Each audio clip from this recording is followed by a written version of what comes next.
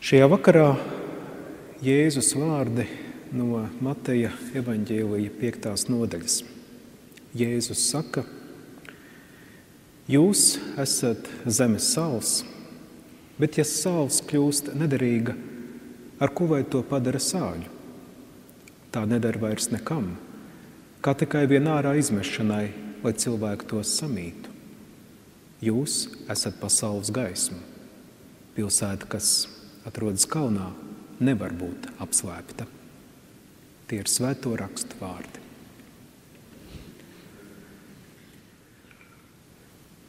Gadiem ilgi vērojot savus līdzcilvēkus un arī pats sevi, esmu nereti manījis, ka daudzi mēs dzīvojam ar izjūtu, ka dzīve ir ļoti komplicēta lieta.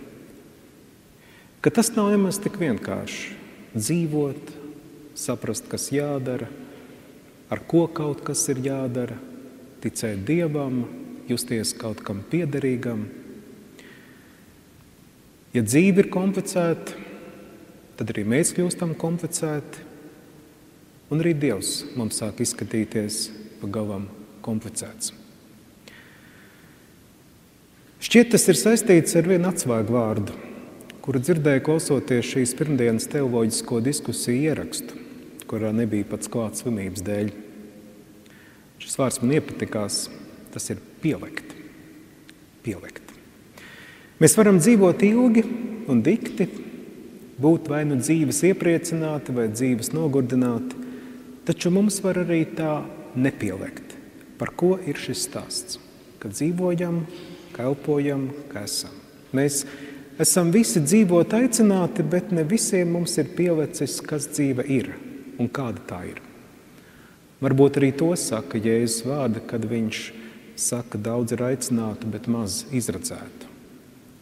Ne visiem ir pielicis. Vai dzīve tiešām ir tik komplicēta, kā dažkārt liekas?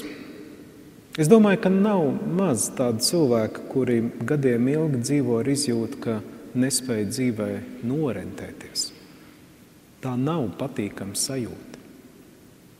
Tu saproti, ka tev ir kaut kas jāzina, kaut kas jāsasniedz, bet īsti nespēji saprast, kur ir tava vieta, kam tu īsti piederi, kas ir tavs ceļš. Jā, tu esi tur, kur dzīve tev ir novitusi, vai ģimene, vai ģimene kāds gadījums, tu pat spēj funkcionēt šajā vietā un varbūt pat sasniegt zināmas virsotnes, tomēr tev nepamet sajūta, ka tā drīzāk ir tāda kā vienkārši piekrišana darīt to, ko tu dari, dzīvot, kā tu dzīvo, tu atkārto kaut ko, ko tu jau esi iemācījies, bet tā nav radīšana. Tas nav kaut kas, kas dzīvi ir. Kā nonākt pie tā, kas ir svarīgs tev pašam? Kurš pateiks, kas esmu es un kur man ir jābūt. Un kā jau vienmēr, tad, kad mēs esam apmaldījušies un nespējam norentēties, svarīgi ir nevis, ka mums tiek sniegtas daudzas un dažādas un bieži vien pretrunīgas norādes, bet gan tikai dažas, ko mums būtu jāņem vērā. Jo patiesībā, ja tā padomā, ir, ka ik reiz, kad esam zaudējuši orientēšanos, esam apmaldījušies, nu, piemēram, mežā, pietiek tikai ar vienu vai dažām norādēm, lai atkal uztaustītu pareizo ceļu.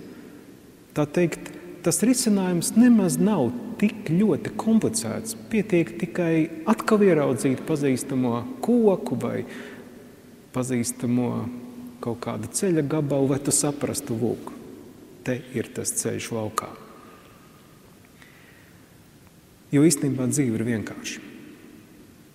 Mēs katrs esam arī daļa no šīs vienkāršības. Un atrast savu vietu dzīvē nav sarežģīti, tikai jāmeklē pareizā vietā. Un šī vieta esam mēs katrs pats. Kādreiz varbūt tiešām nemaz nav jāiznieko laiks, meklējot risinājumus kaut kur ārpus sevis, kādās īpašās zināšanās, vai kādā mācībā, vai kādos priekšstatos par to, kā lietām ir jāizskatās un kādām tām ir jābūt, kādam tev ir jābūt. Atbilde atrodas katrā no mums. Tā teikt, Dievs pieklauvē pie mums. To viņa klauvējienu mēs dzirdam paši. Kāds teologs saka, ir trīs norādes, kā palīdzēt sev orientēties labāk dzīvē. Pirmkārt, sajust sava paša dzīvīgumu, tam ļauties. Otrakārt, apzināties, kā ar tevi viss ir labi. Un treškārt, saprast, kas ir tava dāvana un dalīties ar to ar citiem. Sajust pašu dzīvīgumu un tam ļauties. Kāds profesors Džozefs Kembels saka, cilvēks nemeklē dzīves jēgu, bet gan pieredzi, ka viņš ir dzīves. Un tad man šķiet, ka ir dziļi jāsajūt arī Dieva teiktais par sevi, ko viņš saka gan caur Kristu, ko viņš saka gan arī no ērkšķa krūma, tuksnesī mūzuma. Dievs saka, es esmu. Es esmu. Un neko vairāk. Varbūt tad, kad es tam noticu, ka es esmu, bez nekā tālāk. Tas ir pirmais solis uz šo sajūtu, ka esmu dzīves, mans dzīvīgums. Kad mēs pa īstam ticam, ka mēs esam, ka es varu pateikt, es esmu un justies ar to labi, tad sāk rasties izjūta, ka jā, varbūt dzīve nav problēma, kas jāatrisina, bet gan drīzāk mistērija, kas jāizdzīvo. Tāda pati mistērija, kā tas, ko piedzīvoja Mūsu tuksnesī, vai tāda pati mistērija, kā to piedzīvoja Jēzus mācekļi, klausoties viņā un darbojoties kopā ar viņu. Citiem vārdiem, dzīvi nav iespējams atrisināt ar galvu. Bet dzīvē mums ir apzināti un mērķiecīgi, un es uzsveru, apzināti un mērķiecīgi, nevis vienkārši tā gaidot, ka tās pieredzes mums tā pašas kaut kur pieplūdīs klāt, bet apzināti un mērķiecīgi mums ir jātiecās saskarties un nonākt tajās pieredzēs, kas pierāda, ka mēs esam dzīvi, ka mēs eksistējam. Mums ir nepieciešams pieredzes, kurā mēs sajūtamies dzīvi. Nevis gudri, nevis kompetenti, nevis spējīgi, bet, bet dzīvi. Tas ir tik vienkārši. Man šķiet, arī šī iemesla dēļ cilvēki kādreiz dodas kādos svētceļojumos, vai kādos, nezinu, kādos pasākumos vai retrītos, kas saistīti ar dabu. Varbūt šī iemesla dēļ arī cilvēki dodas dabā, sēņot vai darīt ko citu. Jo tad, kad tu nokļūsti vidē, kas ir dzīva, arī tu sāc justies vairāk dzīves. Varbūt tieši sēdēt mājās un telpās, mums nereti tas liek justies kā tam, kas ir mums līdzās. Jo kādreiz var tā būt, ka tas, kas tev aptver, tas tev tā arī liek justies. Ja tev aptver tikai nedzīves lietas, mākslīgas lietas, cilvēku radītas lietas, nu, tad tu arī sāc justies kā tāds kā tāda teikana vai kāds televizors. Bet, kad tu apzināti atvēl laiku atrasties vietās, kur ap tevi ir kaut kas dieva radīts, tad arī tu sāc justies līdzīgāk, kā dieva radīta būtne. Padzīvot dažas dienas dabā, un dabas dzīvīgums pieskarās arī tev. Kā mēs katrs varam sajust šo savu dzīvi, sajust savu dzīvīgumu? Kāds varbūt staigājot, kāds skrienot, kāds dejojot, dziedot, sēņojot, kāpjot kalnos. Katram mums ir jāatrod šis savs ceļš, kā mēs atrodam pierādījumus par savu dzīvīgumu, pierādījumus par to, ka mēs esam. Laikam, rūkoties grāmatās, papīros, sēžot internetā, mums savu dzīvīgumu būs atrast grūti. Un vēl arī kādreiz Dzīvi mēs sajūtam caur sāpēm. Sevi mēs varam sajust arī tad, kad sajūtam sāpes. Tajos brīžos, pirms esam sākuši ar tām cīnīties, vai tās nomērdēt, vai tās uzvarēt. Pētnieki, kas pēta, kas cilvēkam palīdz sasparoties un cīnīties par, piemēram, savu veselību kroniskā slimībā, ir novērojuši, ka nereti tieši jaunas krīzes un grūtības vai slimības uzliesmojums negaidīt aktivizē mūsos gribu dzīvot, kas noved pie tā, ka mēs pārvaram šo krīzi un varbūt pat atvesaļojamies. Tas ir kā tāds cīnīties gribēšanas stāvoklis – kas palīdz mums tikt uz priekšu, rast dzīvē jēgu, apzināties mūsu dzīves mērķus, nejusties pamestiem un bezcerīgi nolemtiem. Jā, kas mums palīdz nokļūt šajā cīnīties gribēšanas stāvoklī? Tādā dzīves izjūtā, kuru es nekādi nevaru noliegt, ka saskatu arī Jēzu. Arī viņa dzīve lielā mērā pagāja zem šīs gaisotnes, gribēt cīnīties, gribēt darīt to, ko tu dari, nepadoties, neaizbēgt, nemukt prom. Otra lieta bija apzināties, ka ar tevi viss ir labi. To var pateikt arī Citiem vārdiem, proti, apzināties, ka nu, principā, tu esi tīrs, plus mīnus, tīrs no viss, kas tev padara netīru. Mēs katrs zinām, cik ļoti cilvēku pašsajūta ietekmē tas, ja tu neesi nomazgājies, neesi uzvilcis tīras drēbes, piemēram.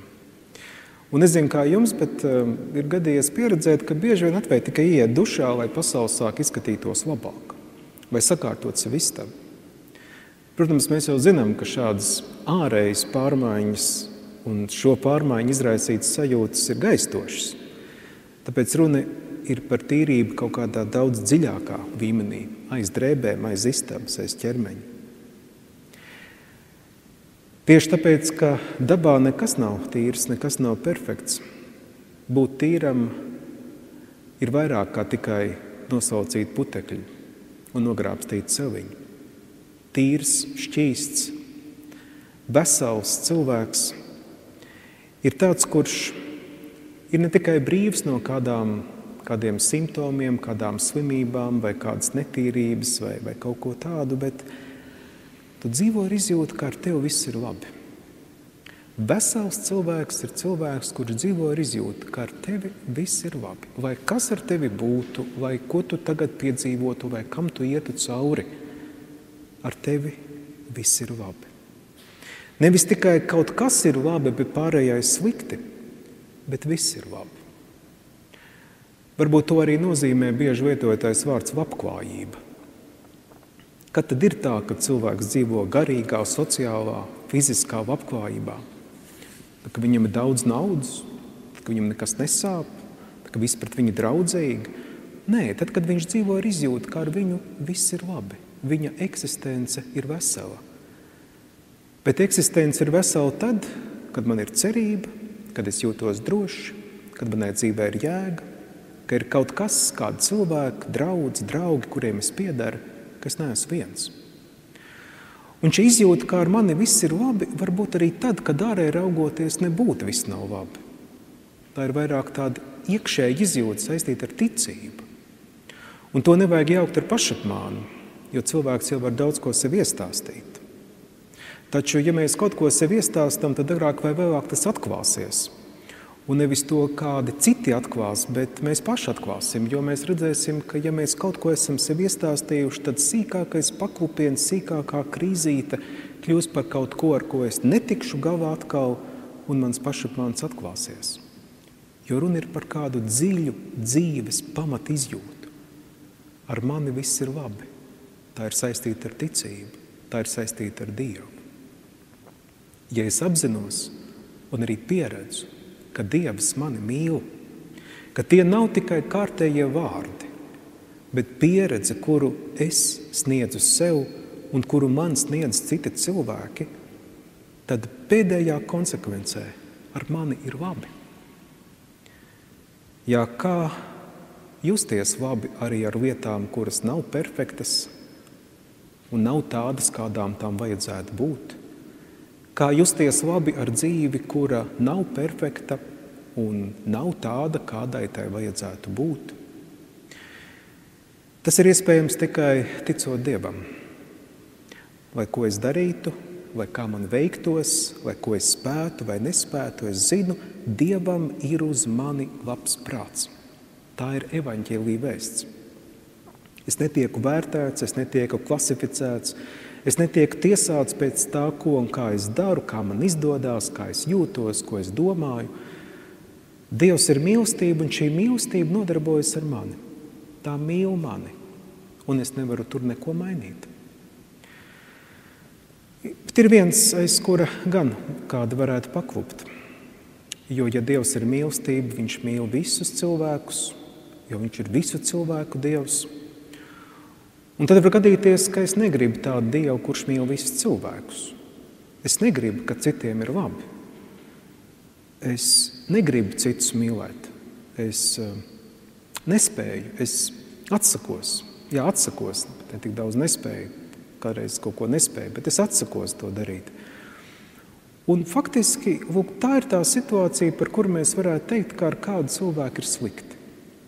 Būtībā tā ir vienīgā tāda situācija, kad mēs to varētu teikt.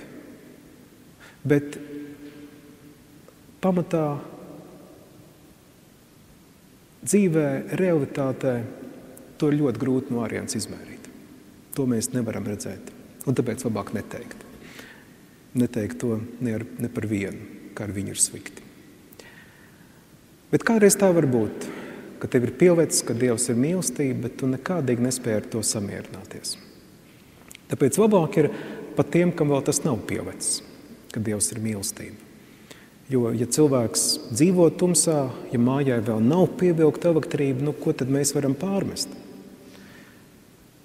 Bet Kristīgā ticība īstam rodas tad, kad tu tiec apgaismots, kad tev izgaismojās tas tik Jēzus dzīvē redzamais fakts, ka Dievs ir labs pret visiem cilvēkiem.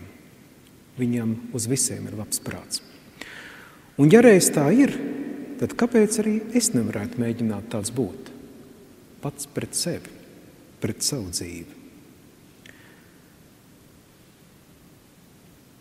Un trešā lieta ir apzināties savu dāvanu, dalīties tajā ar citiem.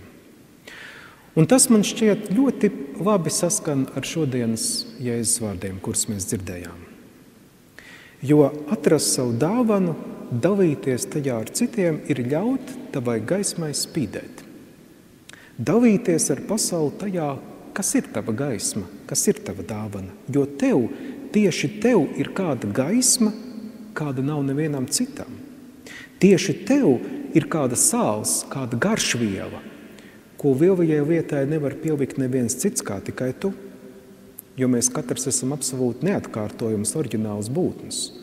Ja mēs sakām, ka esam Dieva bērni, Dieva radīti, tas nozīmē, ka mēs neesam kopijas, mēs neesam atkārtojumi, mēs neesam kaut kādi modeļi. Jēzus saka, jūs esat pasaules gaisma, jūs esat zemes sāls. Un mēs jau esam to sen noskaidrojuši, ka šie vārdi nav sacīti kādā ekskluzīvā nozīmē tikai mācekļiem, lai viņus paaugstinātu pār citiem, lai uzsvērtu viņu nozīmīgumu, iepratītu citiem. Bet tie ir vārdi, kurus Jēzus saka pilnīgi visiem, kas tos dzird tajā brīdī.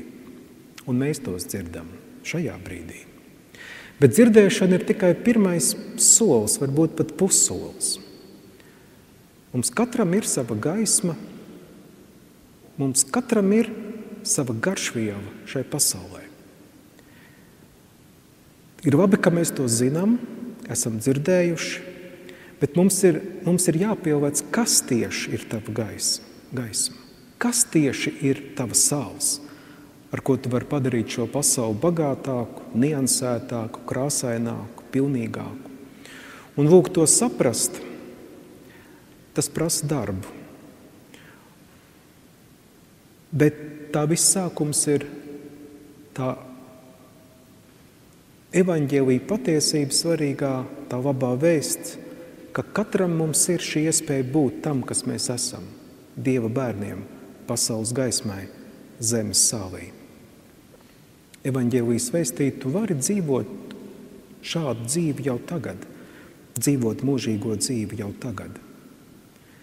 Visi ir aicināti, katram ir kāda dāvana, katram ir sava gaisma, katram ir sava garšviela, bet ne visi mēs zinām, kas tā ir un ko tā nozīmē, un ne visi mēs esam sākuši to īstenot. Ne visi mēs esam sākuši spīdēt, ļaut šai gaismai spīdēt, būt tai pilsētai kalnā, un ne visi mēs vēl esam sākuši salvīt šo realitāti, padarīt to garšīgāku.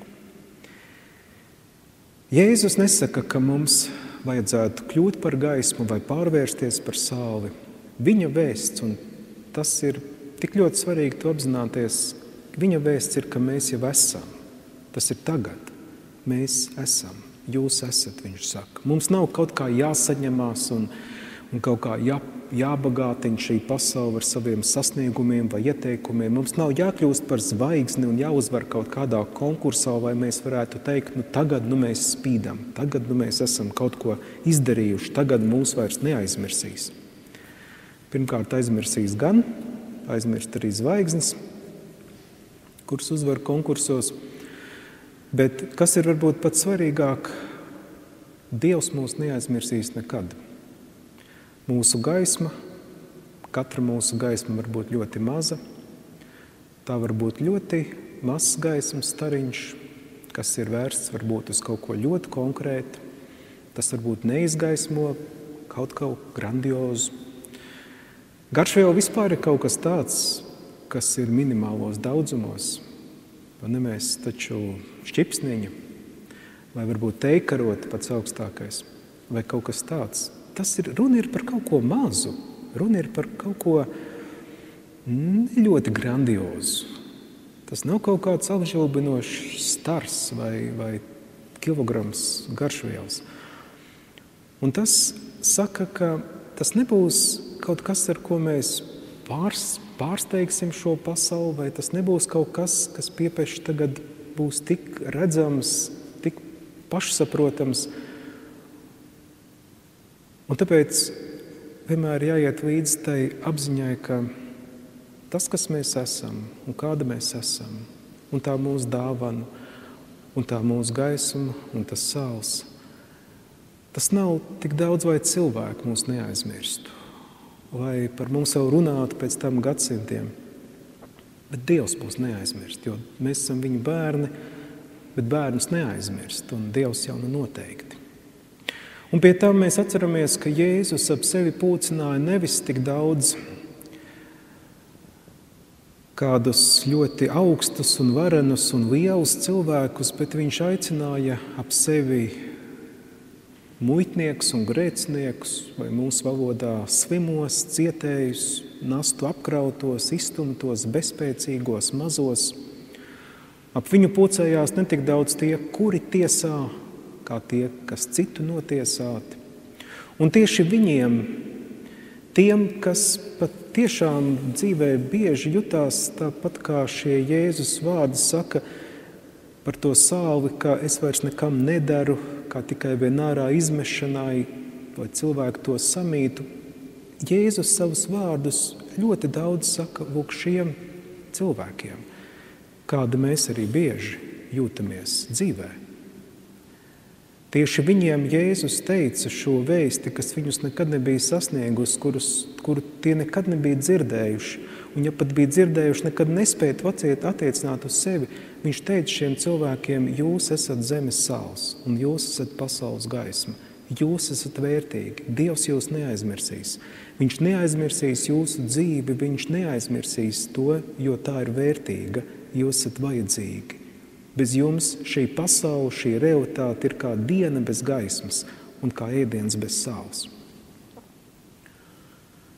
Vai mēs tam spējam noticēt attiecībā uz sevi, vai mēs spējam tam noticēt? Ne tikai piekrist, bet vai mēs spējam, vai mēs spējam tam ticēt un tā dzīvot. Un tas ir liels izaicinājums. Tas ir liels izaicinājums būt mīlestībā. Jo mīlestībā tev ir kaut kas, ko citiem dot, un mīlestībā tev ir kaut kas, ko no citiem saņemt. Un mīlestība, ja tā padomā, ir tāds paradoks. Tur ir tā pārpilnība, kas nāk no katra no mums, jo mums ir kaut kas, ko tikai mēs varam dot, un tur ir tas iztrūkums, jo mums kā reiz nav tas, ko citi mums var dot. Mīlestība ir šīs mīlestības paradoks. Un varbūt mīlestība arī ir paradoks, jo tas nozīmē, ka tev ir ļoti daudz, un tāpēc tu dod. Un tajā pat laikā tev ir milzīgi maz, un tāpēc tev vajag saņemt. Dot un saņemt. Un kad mēs to piedzīvojam, ka esam piebiedrojušies šādam mīlestam, kur vienlaikus esam bagāti un vienlaikus nabagi, vienlaikus gaisma un vienlaikus arī kaut kas no tumsas, vienlaikus sāls un vienlaikus arī kā tāda, kam tā trūkst, tad mēs piedzīvojam, ka dzīve patiesībā ir vienkārša lieta. Tā nav eksāmens, tā nav uzdevums, tā nav problēma. Dzīve ir kā mīlestības, uzticēšanās, pestīšana, prieks,